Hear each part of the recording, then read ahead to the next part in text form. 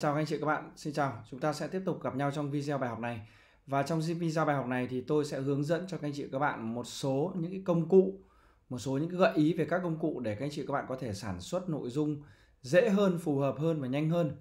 Các anh chị biết rằng là chúng ta có một cái nội dung ví dụ như là một bài viết, ví dụ là một hình ảnh, ví dụ là một video hoặc là ví dụ một đường link để chúng ta đăng được lên trên mạng, chia sẻ được lên trên mạng thì rõ ràng là chúng ta phải cần có công cụ đúng không ạ? À, thì các cái công cụ của nó là những công cụ gì? Và tôi sẽ giới thiệu các anh chị và các bạn cái cách mà chúng ta sẽ sử dụng như sau. Đầu tiên ấy là chúng ta có thể nhìn thấy là uh, một là cái công cụ hỗ trợ soạn thảo văn bản. À, để chúng ta viết những cái bài viết đúng không? Thế thì tôi thường làm như nào? Tôi thường là nếu mà tôi lên mạng tôi lướt tôi thấy bài viết nào hay thì tôi sẽ copy cái bài viết đó tôi uh, paste tức là tôi dán vào một cái phần mềm ví dụ như là Word trên uh, trên máy tính hoặc là à, phần mềm Note tức là phần mềm ghi chú ở trên điện thoại. À, chúng ta sẽ lưu lại và đặt tên để làm gì? Để sau này chúng ta sẽ có dữ liệu có tài nguyên để chúng ta lấy cái, cái bài đó để chúng ta sửa đi. Chúng ta chỉnh sửa chúng ta đăng hoặc là chúng ta có thể chia sẻ lại. À, thì nguyên tắc mà khi chúng ta chia sẻ lại nội dung dạng là bài viết mà nếu mà biết tên biết tuổi của người ta thì chúng ta nên chia sẻ dưới dạng bản quyền ừ, nguồn của tác giả này tác giả kia. Thậm chí chúng ta đưa Facebook của họ vào đưa website của họ vào thì rất là lịch sự và rất là văn minh. Nhưng nếu mà chúng ta mà không muốn copy của người ta thì chúng ta cũng có thể làm à, sửa đúng không? Sửa để chúng ta copy bài đó xong. Thế sau đó chúng ta bắt đầu chúng ta ngồi chúng ta à, thay đổi cấu trúc thay đổi nội dung thay đổi ngôn từ à, thay đổi cách tiếp cận à, dựa trên một cái bản gốc. Đó đấy là cái cách mà chúng ta sẽ làm. Thế thì soạn thảo văn bản thì chúng ta sẽ có là à, những cái bản Word Excel đúng không? Hay là PowerPoint hay là Google Docs hay là Open Writer những cái ứng dụng soạn thảo hoặc là Note trên điện thoại di động. Đấy, thì cái này không có gì đặc biệt cả. Tuy nhiên nó có một cái tính năng rất là hay. À, đó là các bạn có thể sử dụng các cái phần mềm voice to text đúng không ạ? Voice tức là giọng nói to tức là đến đúng không ạ? Text tức là văn bản tức là phần mềm chuyển giọng nói thành văn bản. Phần mềm chuyển giọng giọng nói thành văn bản. À, thí dụ như trong iPhone hay là trong MacBook là các bạn đều có hay là trong Microsoft nó cũng có cái phần mềm này à, tôi sẽ lấy thí dụ như sau. Tôi sẽ bật một cái file Word này lên. À, và tôi sẽ làm cho các bạn xem đúng không ạ? Phần mềm này thì nó có sẵn của ờ, uh, Mac Đấy, đầu tiên là ví dụ như là tôi sẽ kích hoạt nó tôi sẽ làm.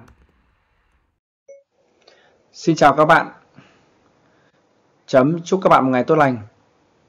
Chấm chúc các bạn bán được nhiều sản phẩm và dịch vụ của Mobifone thì tôi vừa biểu diễn cho các bạn một cái uh, phần mềm tức là nó gọi là voice to text tức là uh, chuyển giọng nói thành văn bản.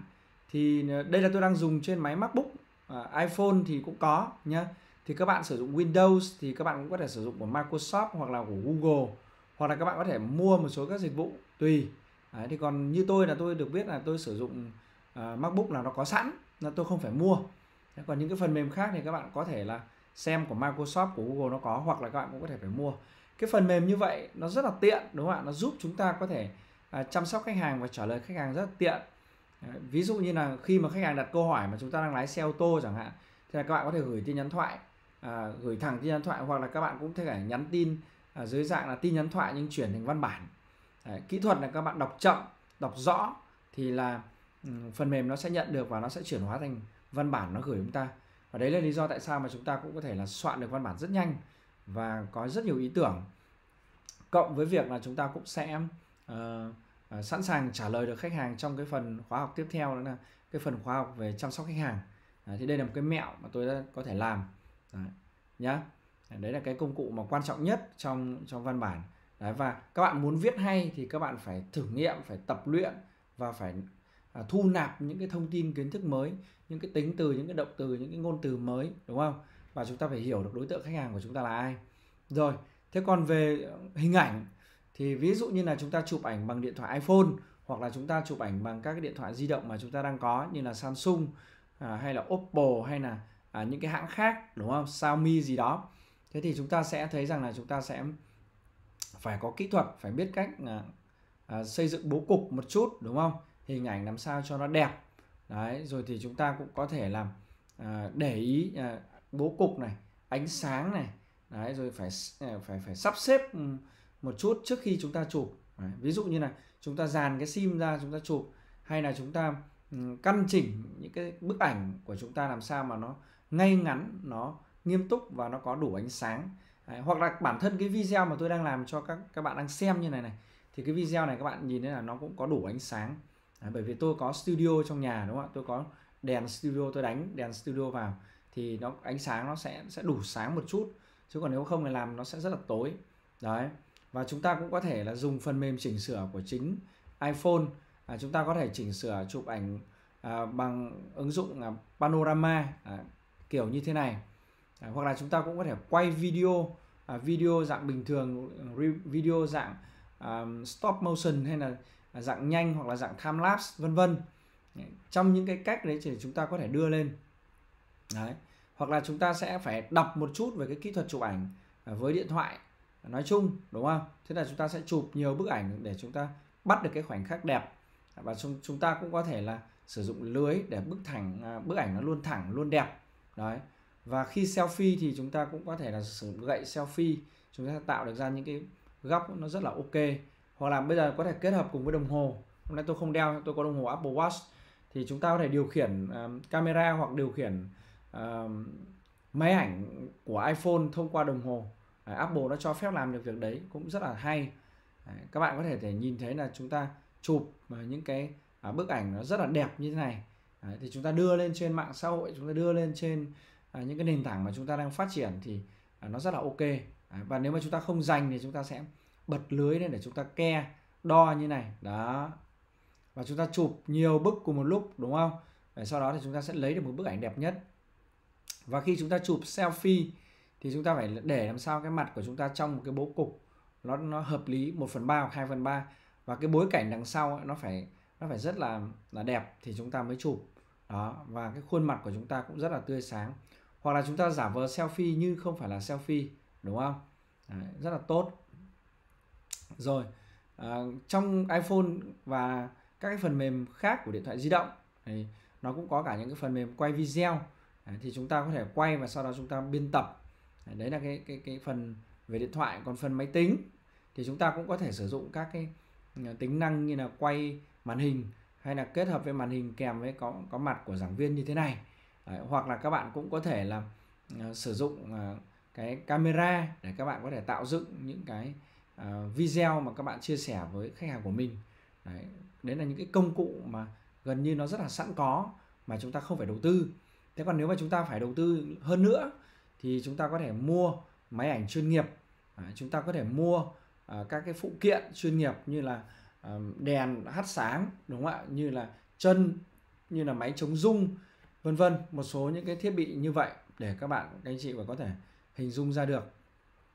Rồi thế theo tiếp theo nữa đấy là à, chúng ta sẽ sử dụng một số các cái phần mềm chỉnh sửa ảnh hoặc là một số các phần mềm chỉnh sửa video. Thì bây giờ trên thị trường có rất nhiều rất nhiều nhé có rất nhiều tôi giới thiệu ở đây. Đấy, ví dụ như các bạn có thể sử dụng à, một số trình à, phần mềm chỉnh sửa ảnh à, phổ biến như là B12 hay là Ulight hay là 360 Đấy, hay là những cái phần mềm của Trung Quốc của Hàn Quốc rất nhiều. Đấy, thế còn những cái phần mềm mà chuyên nghiệp hơn như là Adobe Photoshop Lightroom CC Đấy, hoặc là uh, phần mềm Foodie thì phần mềm dành riêng cho việc uh, chụp ảnh đồ ăn. Đó. Hoặc là uh, phần mềm Adobe Photoshop Fix thì là phần mềm chỉnh sửa ảnh chân dung à, vân vân. À, hoặc là phần mềm Instagram. À, chúng ta dùng chính phần mềm Instagram để chúng ta lọc. Bởi vì Instagram là một cái phần mềm mà có à, những cái bộ lọc hình ảnh rất là tốt. À, ngoài ra thì chúng ta có rất nhiều. Và tôi sẽ hướng dẫn cho mọi người cái phần mềm Canva. Lát nữa tôi sẽ hướng dẫn cho mọi người cái cái cách sử dụng cái phần mềm Canva một cái phần mềm mà à, khá là phổ biến tại Việt Nam dùng để chỉnh sửa ảnh khá là à, chuyên nghiệp và dành cho những người không chuyên à, cũng như là chỉnh sửa video. À, video thì ngoài ra thì chúng ta cũng có thể có à, cái phần mềm hiện nay trong giới à, làm video dùng nhiều. À, đấy là phần mềm à, CapCut. Đấy, phần mềm dành riêng cho ứng dụng của TikTok. À, hoặc là chúng ta cũng có thể sử dụng TikTok để làm rồi. Đấy, rất nhiều các phần mềm ở đây thì các bạn sẽ thấy là các bạn à, có thể sử dụng một phần mềm chuyên nghiệp trên máy tính hoặc là phần mềm bình thường trên điện thoại di động thôi. Đấy, nhá. Thì thông thường các phần mềm mà sử dụng trên máy tính thì là những cái phần mềm mà đòi hỏi các bạn phải học đòi hỏi các bạn phải có máy cấu hình cao một chút và có ừ, học về cái phần mềm này. Đấy, cũng mất nhiều thời gian. Đấy, còn dùng trên máy tính thì là như vậy còn dùng trên điện thoại thì nó nhàn hơn. Đấy, thì tin tốt là những cái phần mềm như này đều có bản dành cho điện thoại di động và nó sẽ nhanh hơn tiết kiệm hơn và tiện hơn. Đó. Rồi tôi giới thiệu một số các phần mềm biên tập video trên điện thoại. À, ví dụ như là Filmora Go à, ví dụ như là Viva Video. À, thì các bạn đây là cái phần mềm rất là nổi tiếng đúng không ạ? À, các bạn thường phải mua cái bản trả phí ấy, thì nó sẽ có hiệu ứng tốt hơn nếu còn bạn dùng cái bản miễn phí thì nó sẽ có ít hiệu ứng hơn ít tính năng hơn. Đó. À, hầu hết các cái phần mềm được tạo ra này có đều có bản trả phí và có bản miễn phí. Và các bản miễn phí thì thường là bị hạn chế một chút đúng không? Đấy, hoặc là quick đấy. các bạn có thể sử dụng phần mềm quick của GoPro để chúng ta có thể tự động phân tích hình ảnh video để đẹp. Đó. Hoặc là chúng ta sẽ sử dụng 2 đến 3 phần mềm cùng một lúc tức là một cái video chúng ta đưa vào chúng ta thông qua một cái app đầu tiên chúng ta tuốt ờ, về filter lọc sau đó chúng ta lại sang một cái app chuyên về nhạc sau đó chúng ta sang một cái app chuyên về hiệu ứng. Thì có thể đấy là những cái cách mà chúng ta sẽ tạo ra được những những cái video mà uh, hoặc là những cái hình ảnh mà nhìn rất là lạ mà không biết được rằng là họ đã sử dụng cái công nghệ gì đúng không? Nhưng thực ra đấy là một cái mẹo là chúng ta sử dụng nhiều phần mềm.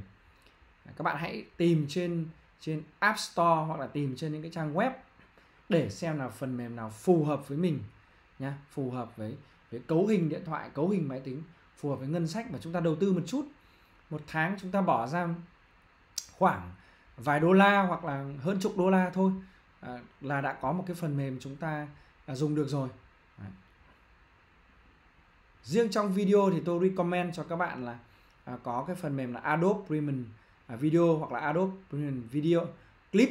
Đó đây là hai cái phần mềm mà Ờ, rất là mạnh dành cho máy tính và có cả phiên bản dành cho điện thoại của ờ, mà, ờ, của của hãng Adobe. Đây là một cái hãng mà rất là mạnh về về media và đồ họa các bạn nhé. Thì các bạn tập trung vào những cái phần mềm tốt cho chúng ta hoặc là phần mềm Viva cũng như vậy. Đấy, thì các bạn có thể search các cái phần mềm Viva. Đấy, Viva Video. Đấy, các bạn xem. Thì xem các bạn xem cái phí của nó ở đây đúng không ạ? Vâng thông thường thì à, có thể là sẽ có những cái à, ứng dụng mà chúng ta sẽ thấy là nó có thể miễn phí hoặc có phí. Đấy, nó có đầy đủ đây dành cho cả Android dành cho cả các thiết bị khác Đấy, và nó bán quảng cáo. Đây là một cái phần mềm mà à, cũng có hiệu ứng rất là tốt có hiệu ứng rất là tốt các bạn nên sử dụng nhé các bạn tải app về trên điện thoại của mình sau đó các bạn học cách sử dụng. Đó hoặc là cái phần mềm mà Adobe. Đấy, mềm Clip. Ok enter.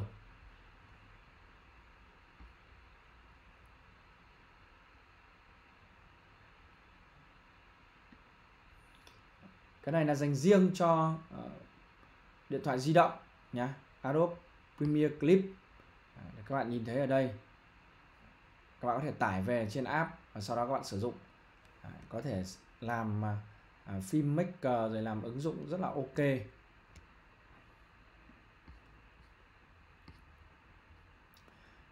Còn nếu mà các bạn mà có uh, sự chuyên nghiệp có đội ngũ hoặc là có thời gian thì các bạn có thể sử dụng uh, những cái vi uh, phần mềm dành riêng cho máy tính. Đấy, thí dụ như là um, Adobe uh, Premiere Video hoặc là iMovie. Uh, của tôi đang có có MacBook thì tôi sẽ dùng iMovie cũng là một cái phần mềm chỉnh sửa uh, video uh, tạm được. Hoặc là trên Windows của các bạn thì cũng có Windows Movie hoặc là Windows Movie Maker đó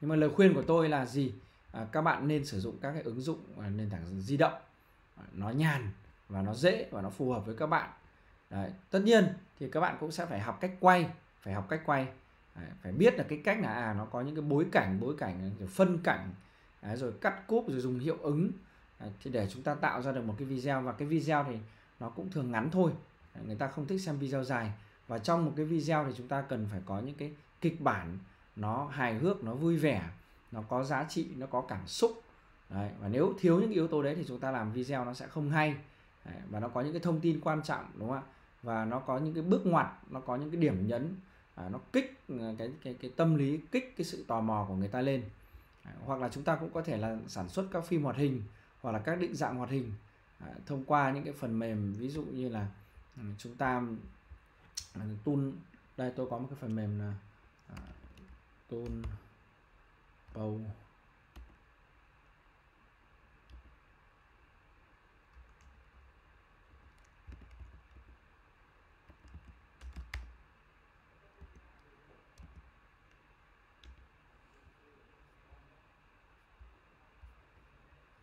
cái gì Tool này tôi không nhớ chắc tôi mua. Tức là nó sử dụng những cái hình minh họa ấy. À, trước tôi mua mà quên mất. Pow Tool cái gì quên. Tool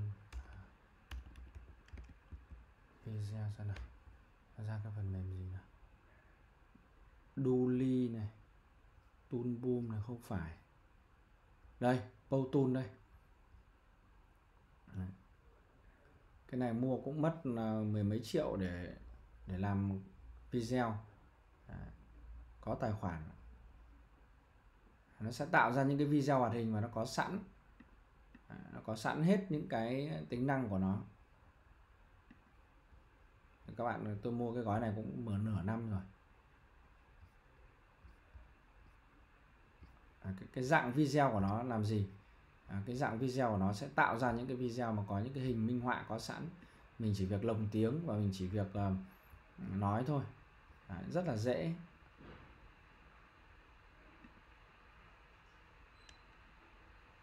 Nhưng mà cái gói này khá là đắt cái gói này mua một năm của nó cũng ờ, chục triệu. Đấy, nó có những cái hình minh họa kiểu như thế này. Sau chúng ta chỉ việc lồng tiếng rồi ờ, chèn tách vào. Thì rõ ràng là chúng ta cần phải có công cụ đúng không ạ? Chúng ta cần phải có công cụ. Đấy, những cái video của nó sẽ trông nó nó sẽ biến đổi như này. À, nó cũng phù hợp với các cái sản phẩm của môi phone và của những người bán đúng không ạ? Và những cái à, hình ảnh những cái ví dụ những cái text những cái hiệu ứng này thì trong cái cái phần mềm nó có hết. À, trong cái phần mềm nó có hết. Ok.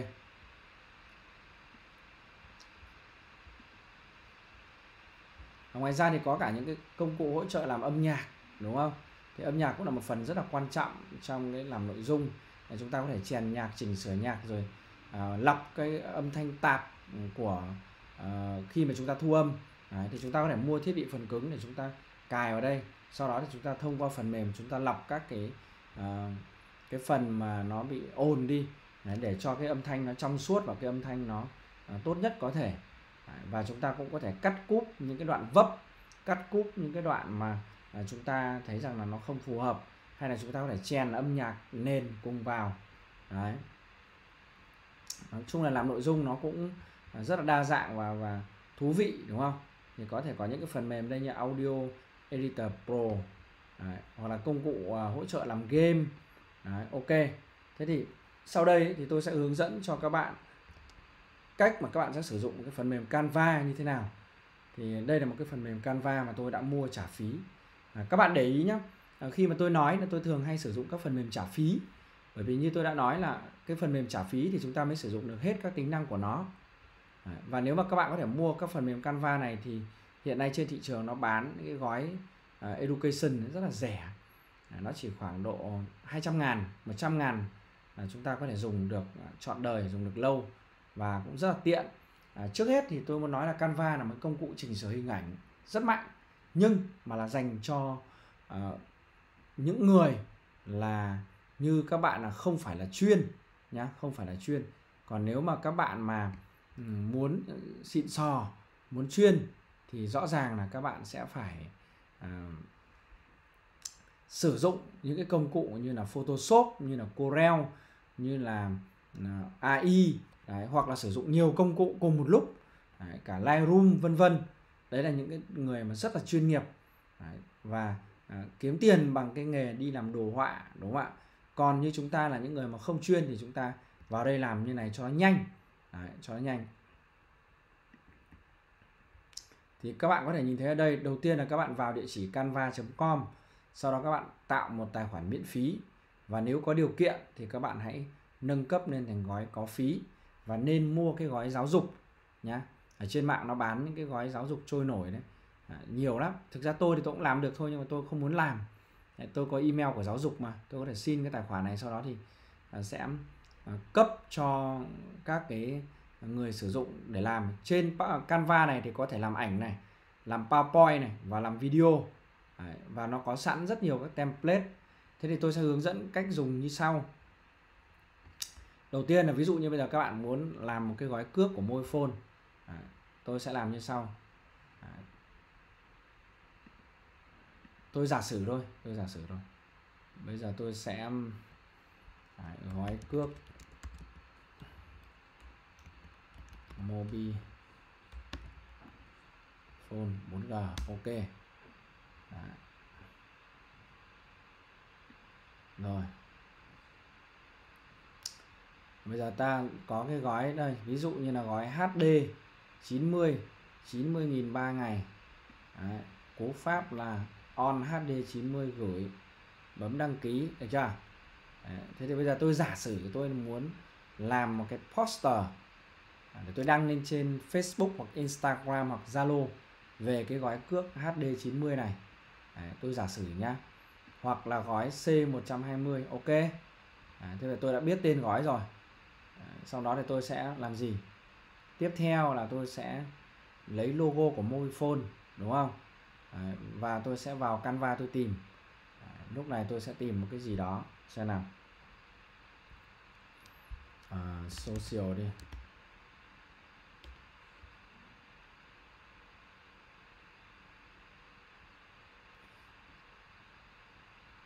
Rồi. Ok. Đó tôi sẽ chọn một cái uh, template mà tôi cảm thấy là nó phù hợp với uh, nó phù hợp với cái um, cái cái phong cách hoặc là cái mong muốn của tôi. À, có rất nhiều có rất nhiều những cái template có sẵn ở đây đúng không? À, thế thì tôi sẽ chọn một cái nào đó. À, các bạn để ý có những cái, cái có cái chữ pro ở đây là các bạn phải trả phí. Đấy, các bạn phải trả phí. Ok ví dụ như này. Những cái mà bạn thấy đẹp nhưng mà bạn lại không được sử dụng bởi vì bạn dùng cái gói miễn phí đúng không? À, thử một vài cái mở ra. Social chưa được ok tôi sẽ sử dụng cái um, tôi sẽ tìm cái từ khóa liên quan đến viễn thông đúng không? Viễn thông telecom. Search.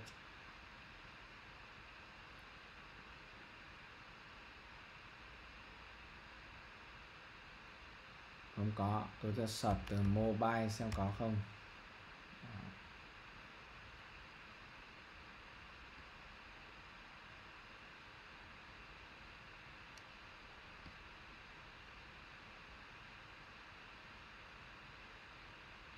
Cái video 8 giây này cũng rất là đẹp đúng không? Ta sẽ thử. Ok. Rồi ta sẽ làm từng thứ một. Ví dụ như đây tôi thấy cái này đúng không? Thế bây giờ tôi sẽ làm cái gì? À, bước đầu tiên là tôi sẽ up logo của Mobifone lên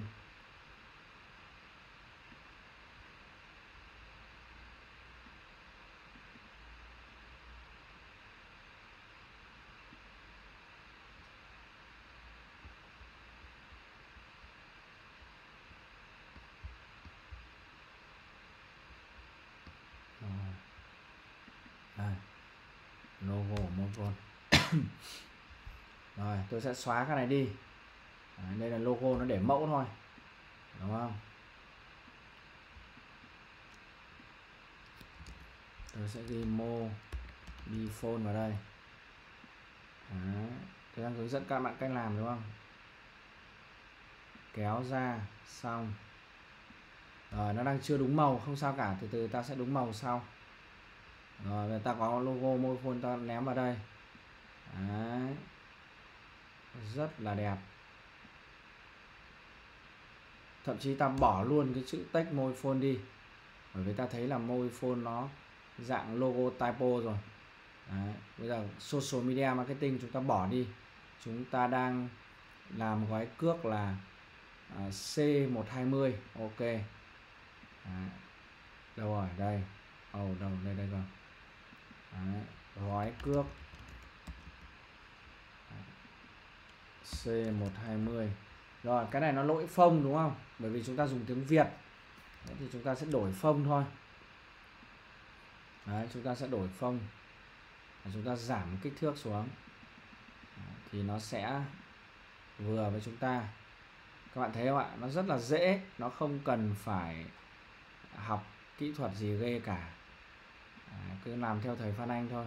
Mobifone rồi gói cước. Đấy.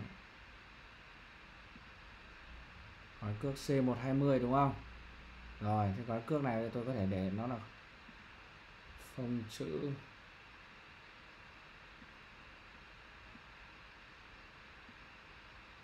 Cho nó đỏ lên. Đấy, tôi thích nó đỏ màu của môi phone nhận diện thương hiệu. Rồi. Đấy, ví dụ như thế các bạn thấy là nó ờ, chưa được đẹp bạn muốn hiệu ứng gì đó nhiều hơn thì bạn sẽ vào đây bạn chỉnh sửa tiếp sau. Nó có hiệu ứng. M. Đấy. hoặc là đậm. Đúng không?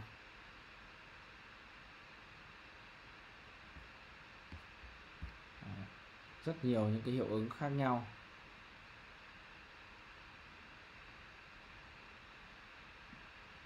Ok thế cái gói cước này có cái gì?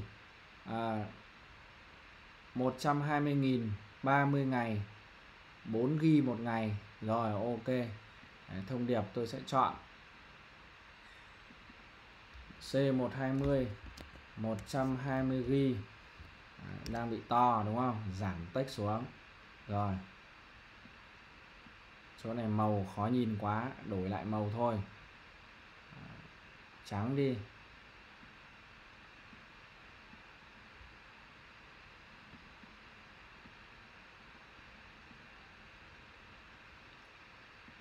Ok. Đúng không? Có nghĩa là gì? Gói cước C120 với dung lượng là 120 GB đúng không? Chỗ này. Đấy, for agency gì đấy đúng không? Thì bỏ đi. Đấy. chót một cái từ vào. Cực nhanh. Tốc độ cực nhanh nó bị lỗi phông đúng không? Kệ nó không sao cả. Đổi sang phông khác hết lỗi luôn kéo ra. Rồi, bây giờ nó bị, Đấy. Đấy là xong. Bỏ cái này đi, vì nó đang thừa. Hoặc là gì? Kéo nó sang đây cho nó bố cục nó đẹp. Đấy. rồi, những cái gì đó ở đây, đúng không? Thì ta bắt đầu, bây giờ ta mới, chỗ này vẫn đang bị lỗi phông tốc độ cực nhanh vẫn đang bị lỗi phông thì ta đổi sang phông Arial chẳng hạn.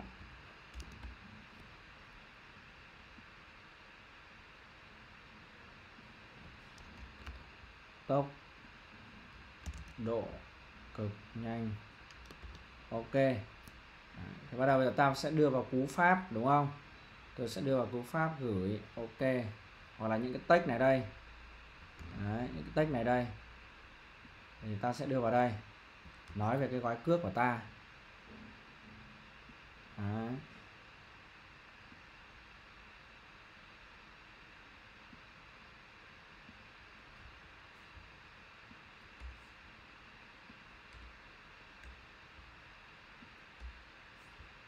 rồi.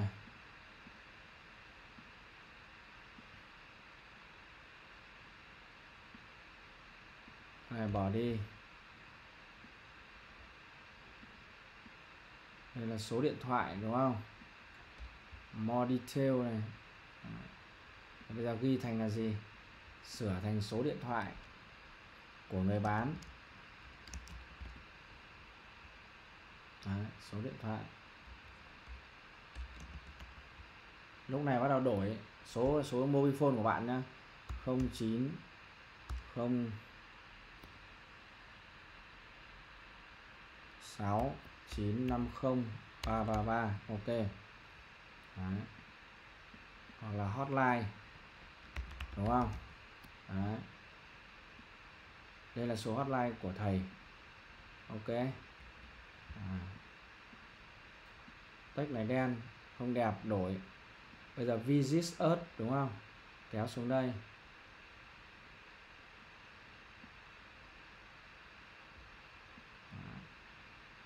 Không visit us nữa, mà bây giờ là đăng ký ngay. Đổi thành đăng ký ngay.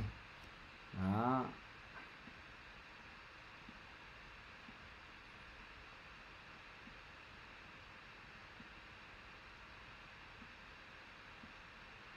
Rồi, xong. Thế. Cái này nó đang vẫn hơi chờ một chút cho nó bé lại. Đó.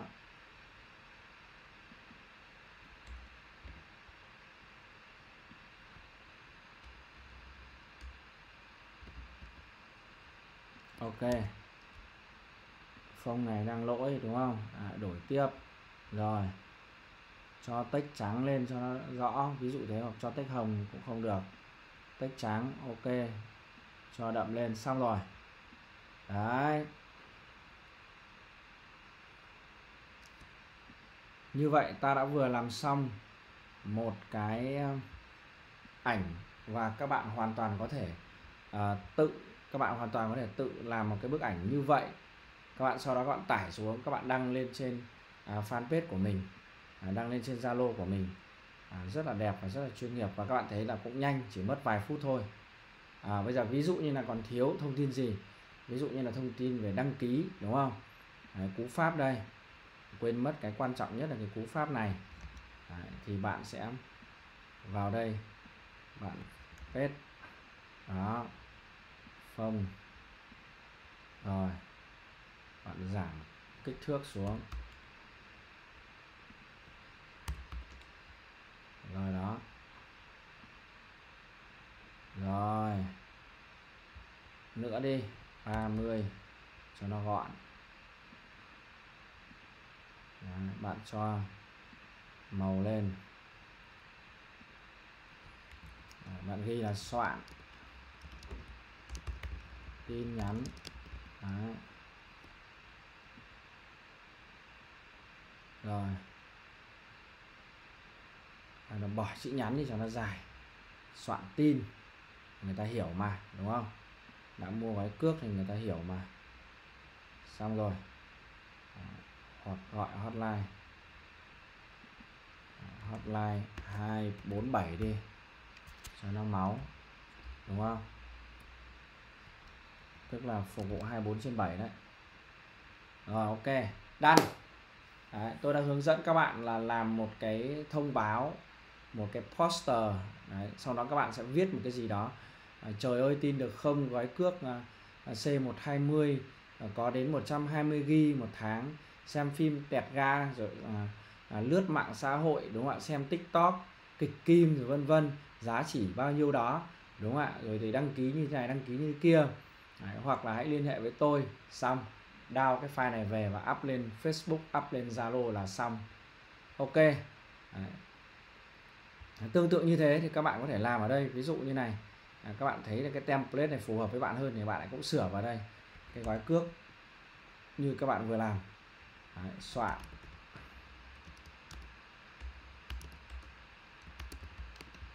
Rồi. Đấy, các bạn đổi phông. 40 mươi lỗi phông đổi sang. Ok. Đấy. sau đó bạn sửa vào đây. Đấy, gói cước. Đấy.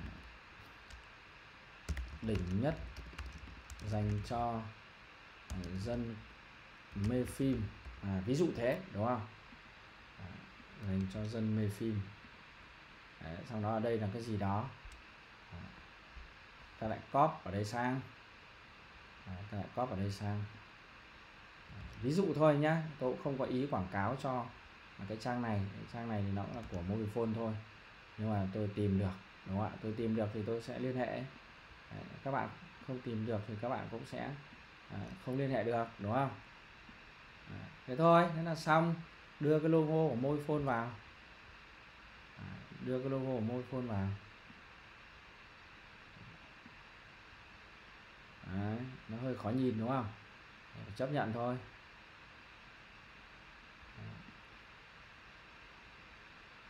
Xong rồi xuất file. Hoặc phát nữa là nhân phát nữa là hai phát mobile phone để ở trên để dưới. Cũng đã được xong một cái ảnh mặc dù ảnh này không đẹp bằng ảnh kia đúng không? Hoặc là đây đây là một cái ảnh 3D nó nhấp nháy. Nên là mình đưa vào đây cũng rất là hay tương tự như thế mình đưa vào đây cũng rất là hay. À, mobile phone này thích nhấp nháy thì cho mobile phone nhấp nháy được. Nó có hiệu ứng mà. Sau mình đưa gói cước vào. Mình đưa gói cước là C120 soạn. Gói cước. 120 ghi một tháng. Đúng không? Soạn cú pháp là gì? On gửi.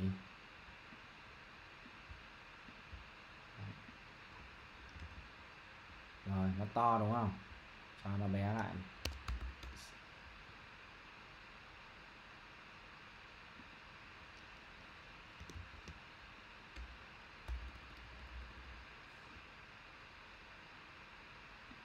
Cái này phông, nó đang tách nó đang bị dày, đúng không? Cho nó rộng ra.